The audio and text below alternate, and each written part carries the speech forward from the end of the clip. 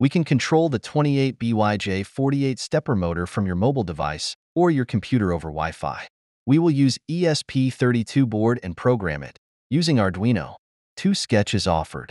Either you turn on or off, or you can change the direction of rotation of stepper motor. The wiring is very simple. Just follow the instruction from the full video. Get the code from robojax.com and paste it into Arduino program.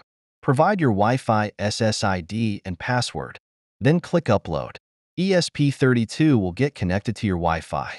Open your computer or mobile phone.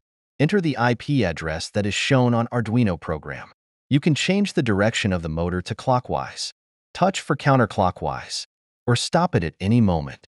See full video on YouTube. Link below this video.